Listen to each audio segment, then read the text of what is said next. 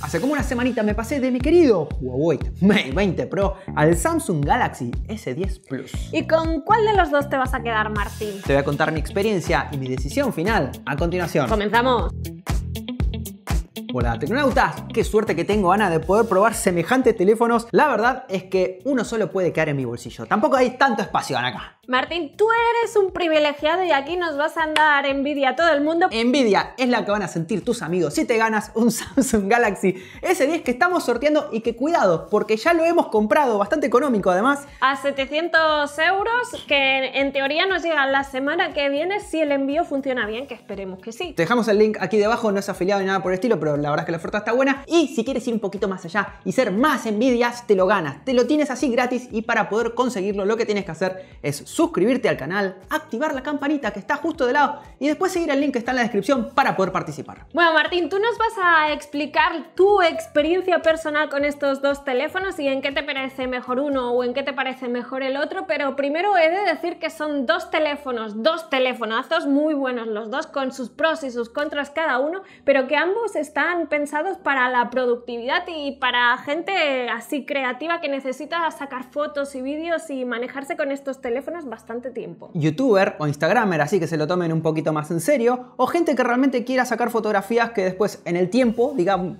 que están bastante bien, ¿no? Tenés un hijo, sacas fotos con la mejor calidad posible. Bueno, y empiézanos explicando qué tal las sensaciones de cada uno de estos teléfonos, ¿qué te parece? A ver, después de una semanita con el Galaxy S10, visualmente creo que lo tenemos bastante claro, ¿no, Ana? A ver, más bonito, a mí personalmente me gusta más el Mate, pero eso ya son cosas de gustos personales de cada uno. Sí, pero igualmente, eh, visualmente llama mucho más la atención, es más moderno, líneas más refinadas, más piola, más joven, Ana, podríamos decir. Pero no solamente por ese lado, también en la mano gana bastante. Si bien el S10 es más livianito, o al menos se siente mucho más liviano, este es como que da sensación más de calidad. No sé, me parece una, una obra de arte, casi te diría, Ana. Me, gusta mucho el Mate 20 Pro bueno, en ese y, sentido. Y una cosa que sí que tenemos que decir con respecto a estos dos teléfonos, el Huawei Mate 20 Pro tiene este tema antideslizante por la parte posterior, para que lo oigáis también un poco el antideslizante que no se resbala en las manos y una de las cosas que ha cambiado de este S10 con respecto al S9 del año pasado, si veis el vídeo del S9 del año pasado, por ejemplo, lo poníamos encima del sofá y el teléfono iba resbalando y tenía tendencias suicidas. Pues en este caso el S10,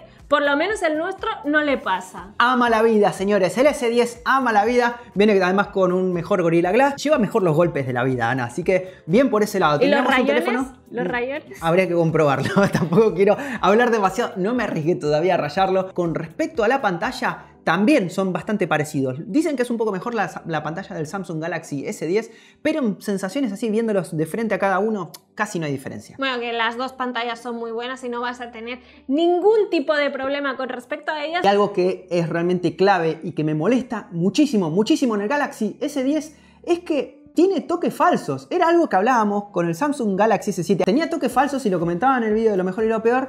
Y fue algo que fue mejorando un poquito, pero todavía, ahora, a día de hoy, sigo utilizando el móvil. Esto que tiene pantalla Edge, que es como más fácil que toque y de repente me hace dobles toques o detecta que tengo la mano agarrada acá. Se siente muy incómodo y es imperdonable fundamentalmente porque este es el primer teléfono de Huawei que viene también con pantalla Edge y no tiene ese mismo problema. No puede ser. Estos que son novatos vienen y lo hacen bien mientras que estos siguen metiendo la pata. Quizás en una actualización lo mejoren, pero por ahora es una, es una de las cosas que más me molesta del S10. Lo que a mí sí que en las primeras impresiones, cuando la primera vez que lo vi, ese agujero de momento no me convence para nada no me gustó mucho y me sigue sin convencer todavía. Es evidente que, por ejemplo, yo tengo el Pixel 3 XL. Sos la reina del notch, Ana. ¿Qué vas a decir vos? ¿Qué vas a decir? Es el notch más horrible que puede existir en este mundo y al final, pues te acabas acostumbrando. Yo supongo que a los dos agujeros estos también te acabas acostumbrando. No, estás validada para, hablar para opinar sobre este tema,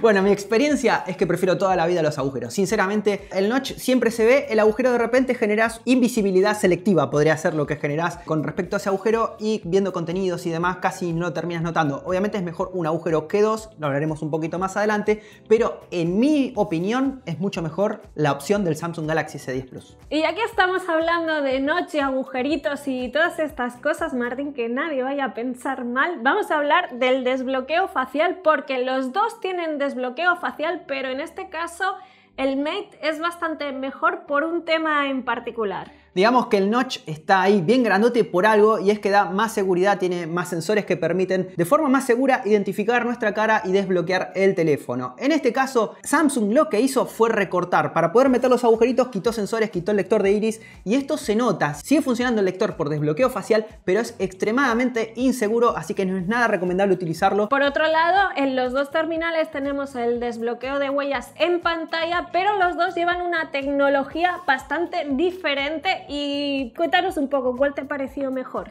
A ver, el Mate 20 Pro lo que tiene es desbloqueo mediante una cámara debajo de la pantalla, mientras que este tiene un sensor ultrasónico. Ultrasónico, que básicamente permite reconocer la huella en un formato 3D, es muchísimo más seguro, es mucho más difícil de poder falsificar y es genial. La verdad es que en principio cuando lo empecé a utilizar no me gustaba demasiado, pero después le cargué varias veces mi huella, también vino alguna actualización y cada vez me voy sintiendo mejor. En cambio, con el Mate 20 Pro lo que me pasó es que al principio me daba buenas sensaciones, pero a medida que va pasando el tiempo, no sé por qué, pero cada vez me va desbloqueando de manera menos menos segura, peor. Igualmente, los desbloqueos de huella en pantalla no son el sistema más rápido para desbloquear, Martín. Tarda un poquito, igual que es ultrasónico, no es ultrasónico de rápido. Todavía tiene un margen de mejora importante, pero la verdad es que lo prefiero mil veces que el sensor de huellas en la parte trasera o incluso en el costado. Para mí es genial ahí en la pantalla darle, una vez que le encontrás la vuelta, va perfecto. Un truco que ha dicho ya Martín, pero os lo recalco, es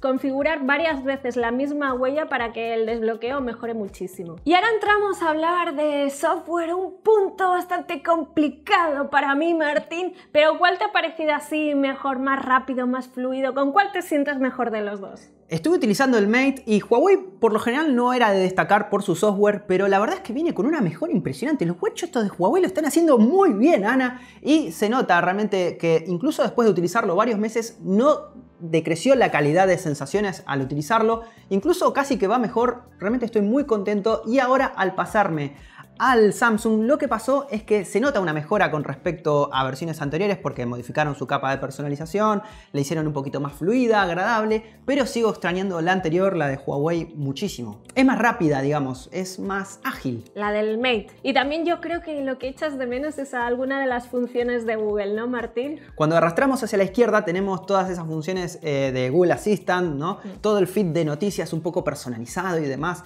en los teléfonos de Google normales, digamos, en los que vienen más Google puro, Android puro, algo que vos conocés, Ana. Y en cambio, en lo que respecta al Samsung, viene con Bixby y todo su mar de desastres, porque la verdad es que es inentendible. Está peor todavía, está peor que antes con esta nueva personalización, con muchas etiquetas, con, con una usabilidad horrible, podríamos decir que hay que ir configurando. Y está Bixby además, está Bixby ahí que termina de arruinar la experiencia. Ahora habla español, pero es como si hablase chino igualmente, porque no, se, no te entiende. Tarda en responder, te entiende lo que quiere y después te dice lo que quiere. O sea, te dice básicamente, no, no, no, sé qué me estás diciendo. No te he entendido. Hasta los chistes son malos, no puede ser. Le hemos estado probando Bixby un poquito y todo eso y le dabas comandos de voz. Había veces que te entendía, otras veces que no te entendía. O sea, como que no está bien trabajado y tienen que seguir trabajando, pero mucho. Pero una cosa que sí va bien de el Samsung, por ejemplo, es la carpeta esa segura que vas guardando ahí tus cosas y yo no puedo chafardear porque está con clave y todo eso. El Knox, el Samsung Pay, hay algunas cositas que sí que, que están bien. Samsung por un lado tiene una interfaz que es bastante chunga, o sea, va mejorando, siempre mejora, pero todavía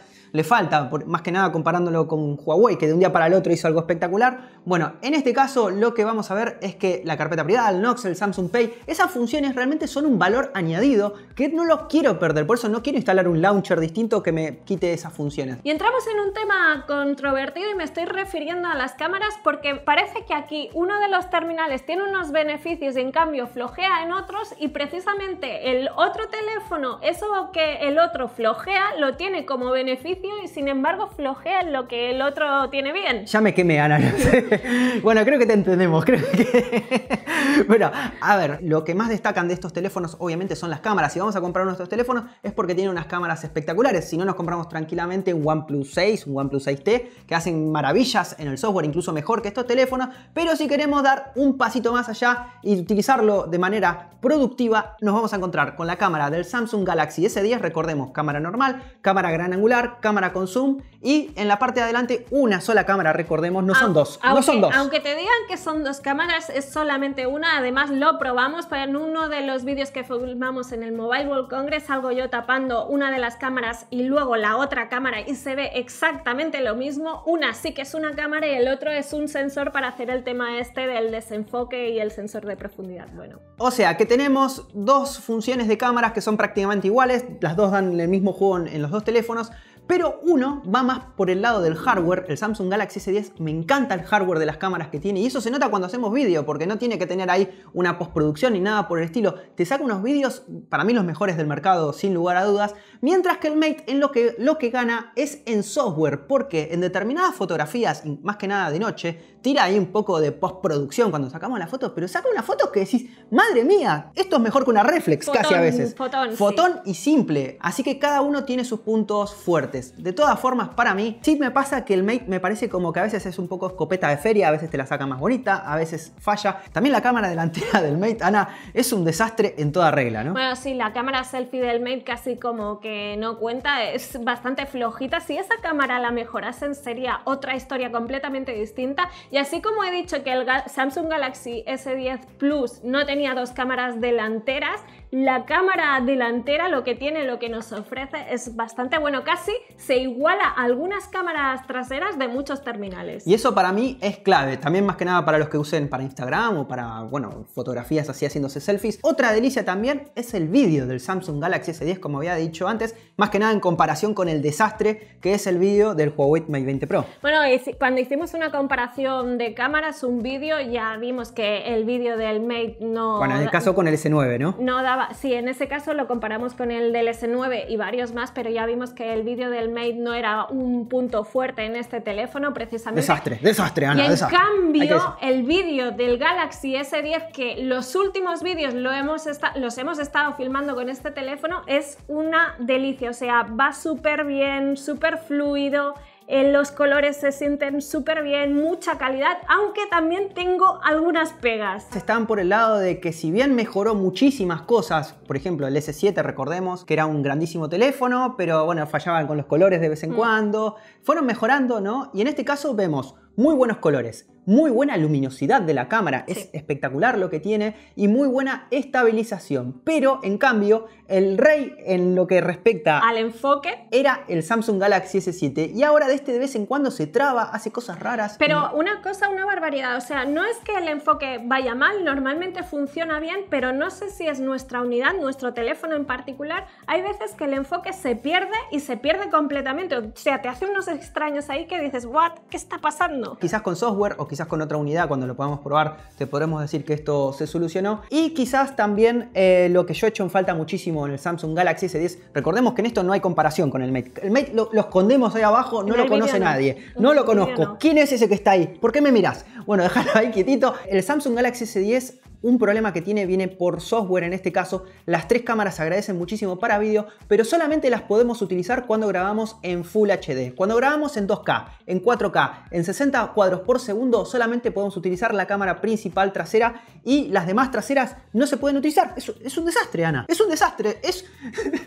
Me pongo mal, me Nosotros pongo que mal. estábamos tan contentos porque podíamos estar filmando y ir intercambiando entre las cámaras, cuando hacemos ese intercambio y estamos filmando en 4K 60 frames, panorámica y todo eso, no se puede. Algo bueno, en este caso hay que decirlo, que creo que es uno de los primeros teléfonos que lo puede hacer, es que graba en ultra panorámico para aprovechar el formato de nuestros teléfonos, que no queden bandas negras, por eso vieron en los últimos vídeos que lo estábamos teniendo así, pero llega solamente hasta 30 cuadros por segundo, bastante limitado, y también en Full HD. Por cierto, os estamos hablando de todos estos vídeos que hemos filmado últimamente con el Samsung Galaxy S10 Plus. Os vamos a dejar esos vídeos en la descripción para que vosotros también podáis ver la calidad que tiene el S10 filmando. Casi no hay que tocar los colores, arreglar los colores, nada, es un espectáculo. Y en una cosa que sí que podemos decir que los dos están bastante igualados, por lo menos en nuestras sensaciones en estos días que hemos estado probando el Samsung Galaxy S10 Plus, es en el tema de la batería. Por ejemplo, ayer estuvimos filmando con el S10, estuvimos con la pantalla mucho rato encendida y llegamos por la noche y el teléfono aún tenía un 30% casi de batería, o sea que bien. Recordemos, 4200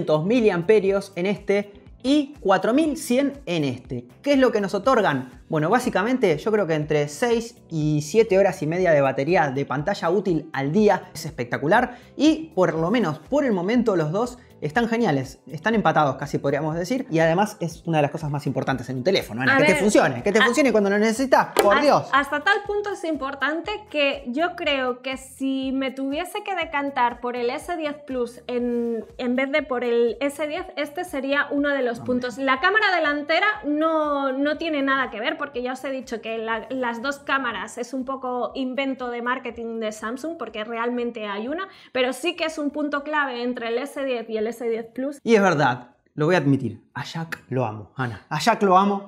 Gracias, Jack. Ha vuelto, ha vuelto a mi vida y cómo lo quiero. Pero si no se fue con el S9, no se fue. No, ah, pero con el Mate, estamos hablando de la comparativa con el Mate. Cuando lo quise buscar ahí, no, no entraba, Ana. Esta entrada no, no, es igual, no, entraba el Jack. Para determinados usos va realmente bien. Para mí no es necesario quitarlo y lo disfruto muchísimo. Y también disfruto muchísimo en este teléfono la posibilidad de ampliar la memoria mediante micro SD. Que ojo, en este también se puede ampliar, pero con una tarjeta rara ahí que es media cara. Propia de Huawei, la NM Car, que además es más cara que una micro SD y además solo funciona en determinados Huawei. Entonces dices, mm, me chirría un poco aún. Bueno, y habiéndote explicado todas estas cosas de cada uno de los terminales, ya veis que cada uno tiene sus pros y sus contras. Tú, Martín, ¿con cuál te quedarías? Eso sí, lo he de decir. opinión personal de Martín para su uso, para, que, para lo que él lo utiliza, que ya sabéis, vídeos, eh, fotos. Y si tienes algún problema, nos vemos en la esquina, que no pasa nada. No pasa nada, yo ahí la pongo a Ana, que ella le, va a rear, ¿eh? Le va a rear. Personalmente, yo me voy a decidir por el Samsung Galaxy S10, más que nada por mi, mi uso particular. Realmente lo necesito, más que nada eh, en dos cosas puntuales que el otro falla de forma estrepitosa. El vídeo y la cámara selfie. Si no es la mejor en cuanto... No solamente en fotografía, porque en fotografía me pueden decir, sí, un píxel, que esto, que lo otro, pero en vídeo... En vídeo. La cámara selfie en vídeo, la calidad... Mira, eso sí que es una cosa que mejora y mucho con respecto al Samsung Galaxy S9. La cámara selfie en vídeo y las selfies en general. Te puedo decir, casi sin lugar a dudas, que el Samsung Galaxy S10 Plus es el teléfono más completo que existe en el mercado no solamente en Android, sino también en todos los teléfonos. Me lo podrían discutir y sería un poco discutible, sí, con el iPhone, pero para mí es un pasito más allá, da más juego,